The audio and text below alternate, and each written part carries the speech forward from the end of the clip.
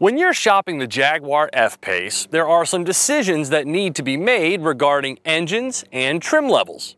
One of which is this diesel R-Sport. Now, why would anyone choose this particular model? Well, that's what I intend to find out. Now in its second year of production, and predictably the brand's best-selling model by more than 2 to 1 over the XE sedan, the 2018 F-Pace is available in a dozen different flavors, with a foursome of turbocharged or supercharged four and six cylinder engines, ranging in price from the low 40s to the low 60s. And sandwiched in the middle are three 20D models, the designation Jaguar uses for their diesels. Above premium and prestige, this is the R Sport version, with more assertive styling, LED headlights that swivel in the turns, fog lights, 20 inch wheels, 18 way sport seats, and a variety of advanced safety features. The F Pace I first drove in 2016 is a model that's been replaced this year. The 340 horsepower version of the 3 liter supercharged V6 has been swapped for a 2 liter turbo.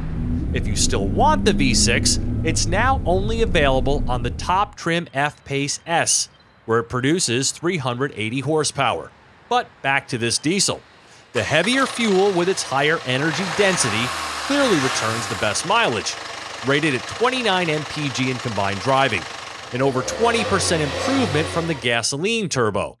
It provides a greater driving range of over 460 miles and will save the average driver $2,250 in fuel costs over a five year period. Now, choosing the diesel adds $1,500 to the cost of the car. Bottom line, it's the torquiest, most fuel efficient four cylinder engine the F Pace offers. But its financial benefits, particularly to a wealthier Jaguar owner, are fairly minimal. In order to help shoppers choose, Jaguar suggests the diesel option for high mileage drivers who spend most of their time on the highway, where this F Pace returns 33 mpg. Towing is rated at just under 5,300 pounds. 317 pound-feet of torque and over 30 mpg are definitely big pluses.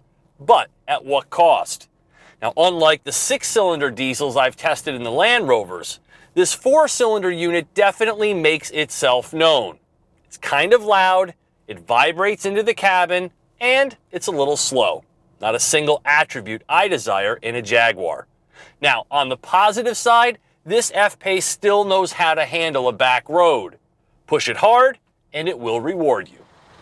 When you first step off, the diesel shows its cat-like quickness, and when the 8-speed transmission is in sport mode, its mid-range punch is powerful.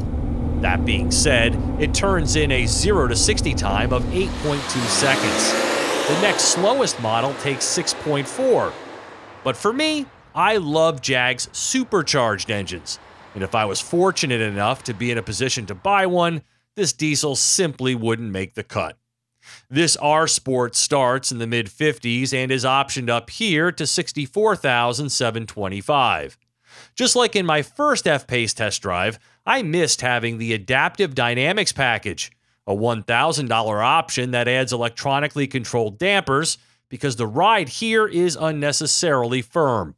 I'm also less than enthralled with the cabin makeup that seems to be short on luxury touch and appearance despite its fairly generous content level. And having that full size spare, talk about an awkward cargo floor. And my other big knock continues to be the infotainment system that soldiers on, eschewing true smartphone projection. It's a clumsy unit that doesn't quite get it right. Its looks are universally beloved, the starting price makes owning a Jaguar SUV fairly accessible, and it certainly welcomes a spirited drive. But this diesel F Pace is a pass, and in general, I've never been as enamored with this model as I imagined I'd be. For TestDriveNow.com, I'm Steve Hammes.